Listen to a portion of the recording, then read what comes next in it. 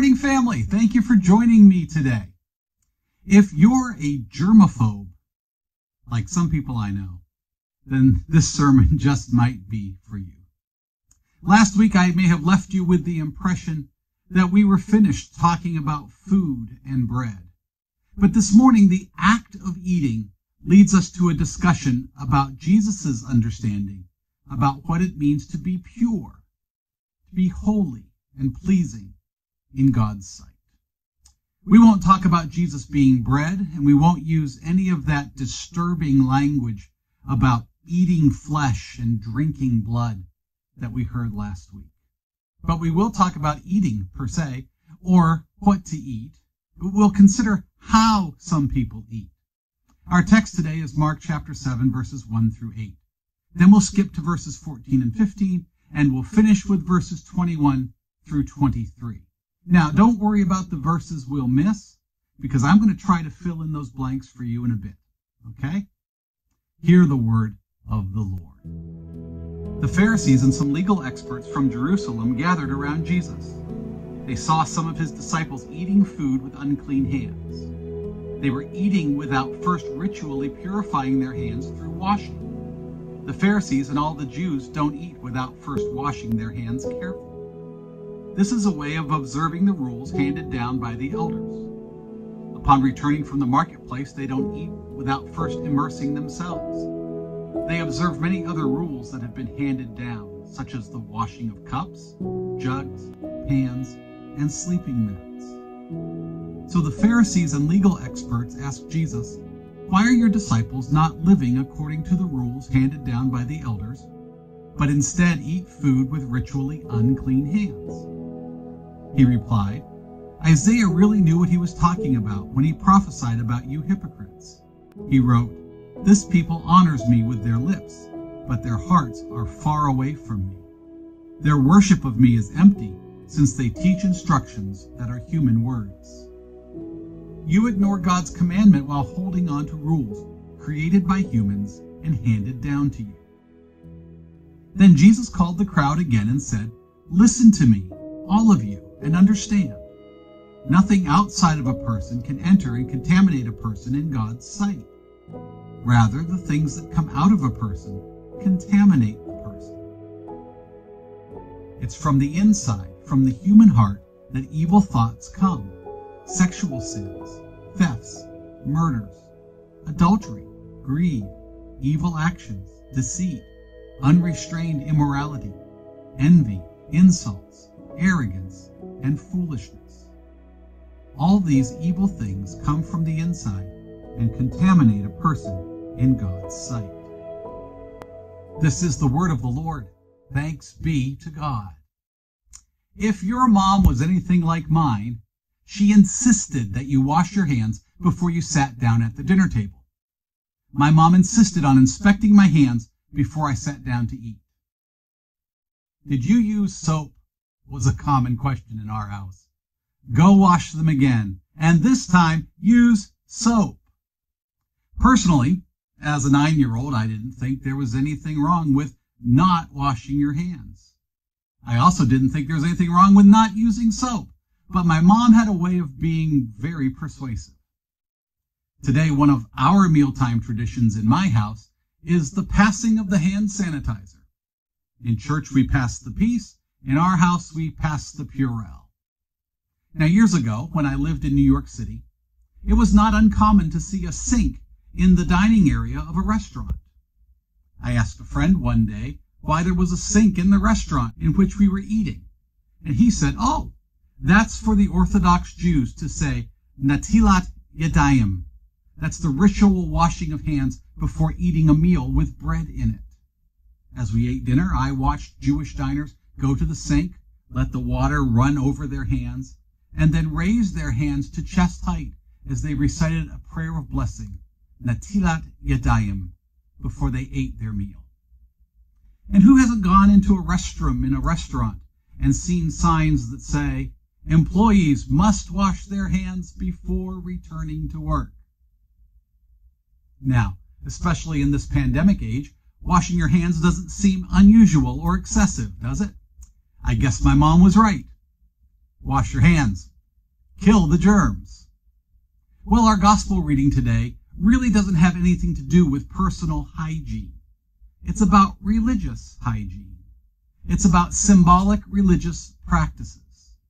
The law of Moses addressed ritual purity. It covered all sorts of things from normal bodily fluids to sex, from touching a dead body to mixing milk and meat. It addressed anything that could make one ritually unclean and therefore barred from worshiping in the temple. Now, let me say that uncleanness was not the same as sinfulness. In biblical times, a person could become ritually unclean in the normal course of life. The remedy for uncleanness was not repentance, but ritual cleansing. Today's exchange between Jesus and the Pharisees was not really about ritual purity. It was about how the Pharisees used laws to construct a system of ritual piety or religiosity. Now we need to keep in mind that Mark wrote his gospel account in large part for people from Rome. They were Gentiles, not Jews, who lived in a different part of the world. They were people with little understanding and little appreciation for the law of Moses or for Jewish cleansing rites and rituals. That's why Mark inserted a bit of commentary to explain things to his Roman audience. While Mark's explanation is accurate, it is a bit exaggerated. All the Jews, as Mark claimed, almost certainly did not wash before eating. But the religious leaders and teachers of the law, we call them Pharisees, they certainly did.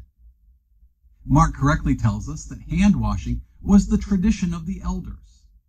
That means that it was not actually required under the law of Moses.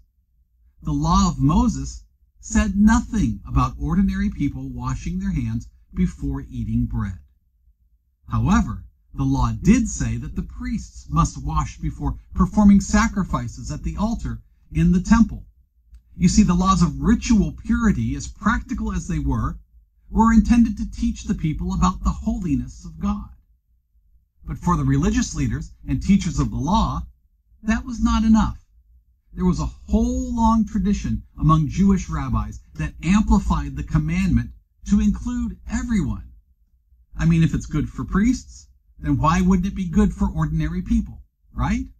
Isn't every piece of bread a holy offering to God? Isn't it a good thing to bring priestly practice into everyday life? Now, when these people see Jesus' disciples eating with unwashed hands, they have a cow.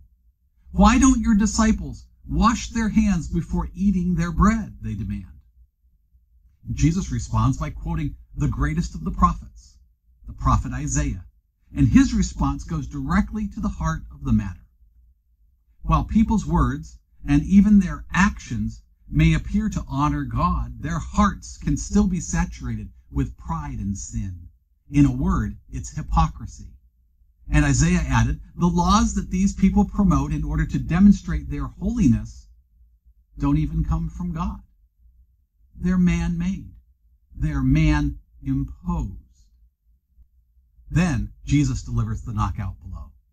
You ignore God's commandment while holding on to rules created by humans and handed down to you.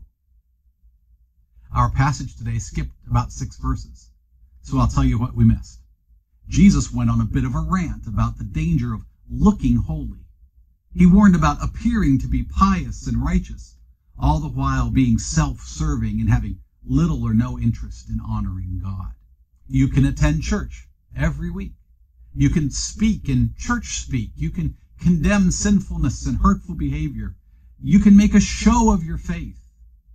And you can still, in your heart of hearts, be vile and selfish and disgusting. That's when Jesus turned to speak to the people who had gathered around to observe his takedown of the religious professionals. He said, Nothing outside of a person can enter and contaminate a person in God's sight. Rather, the things that come out of a person contaminate the person. Even though Jesus says that nothing outside can defile, he is talking about food. There are lots of things from outside us that can defile us. Things like indulging in forms of entertainment that are explicitly and gratuitously sexual or violent, or adopting political or social ideologies that come from outside, but they stick, don't they? And they corrupt our hearts and our lives. Again, we skipped a few verses where Jesus says, Don't you understand either? Don't you know that nothing from the outside that enters a person has the power to contaminate? That's because it doesn't enter into the heart, but into the stomach, and it goes out into the sewer. By saying this, Jesus declared that no food could contaminate a person in God's sight. Again, as we saw last week, Jesus' words confounded his disciples, and we are just as likely to misunderstand his words if we're not careful. It's no wonder that this was a new concept for them. They had been trained to observe the minutiae of the law, but they had not been taught its true purpose. In the biblical worldview, the heart is the control center of the mind and will and the body. Not, of course, the literal organ that pumps blood throughout our bodies, but the figurative core of our being, of who we are. It's the heart that breeds human perversity, not outward things like food and drink. Jesus is making a strong distinction here between the religion of the heart and a purely outward religion of the legal code. It's not that Jesus rejected the law, but that he pointed out its limits. Laws cannot change the orientation of a person's heart.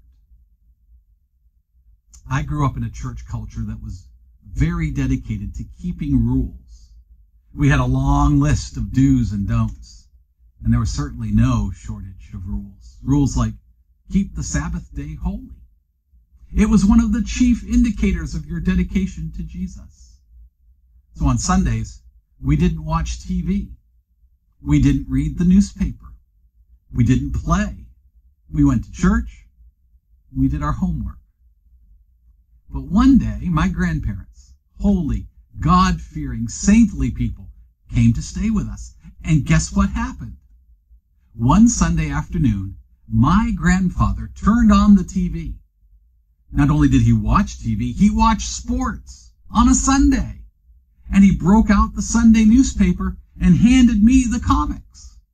How could my saintly grandparents violate the sanctity of Sunday and still believe in God? That was my earliest introduction into the problem with laws. That's when I began to learn that piety and purity were not the same thing. The Gospels of Matthew, Mark, and Luke all tell us that one day a man came to Jesus. The man was struggling with piety and purity. He was pious, but he wasn't pure. What must I do to inherit the abundant life of God's kingdom? He asked Jesus. I've kept all the rules. I obey all the laws. Do you remember what Jesus said? He said, All you have to do is love God with all your heart and soul, with all of your mind and with all your strength, and love your neighbor as yourself. That's it. God calls us to love, not to be legalistic. God calls us to be pure, not to keep a bunch of rules and regulations. Do you have to wash your hands? No. But should you?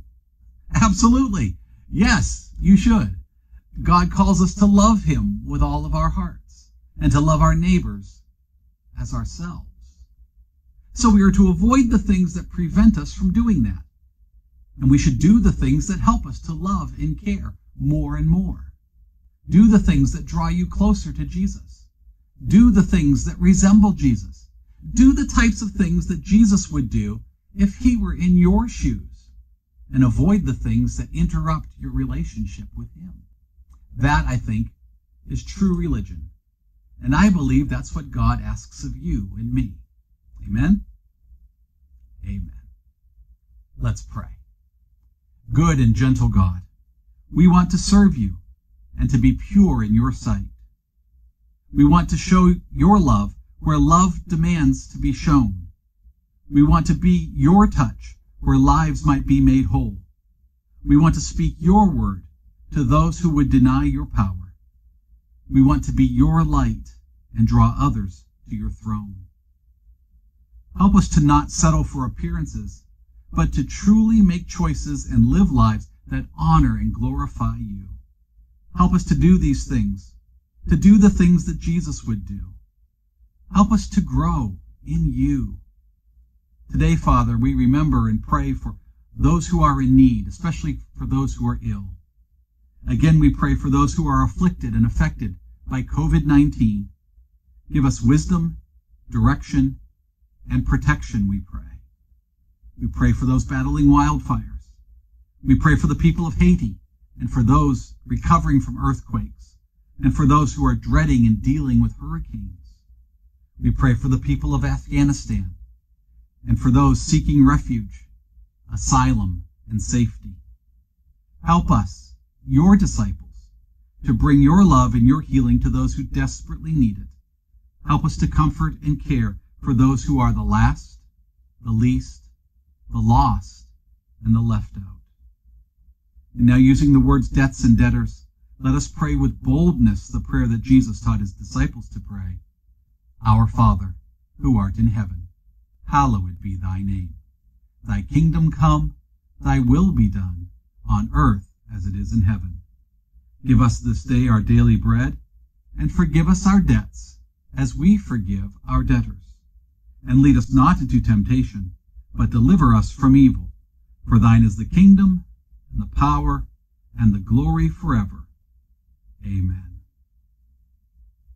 Well, thank you for joining me today. Was this message helpful to you? If so, will you share this video with three friends this week? Remember, your job this week is to love at least three people and make sure at least one of them doesn't deserve it. Because everyone needs love. And everyone needs to know that God loves them no matter what. Right? Please don't let all the craziness of life rob you of your joy. With Jesus, we always, always, always have hope. Now receive these words of benediction today. May the Lord bless you and protect you.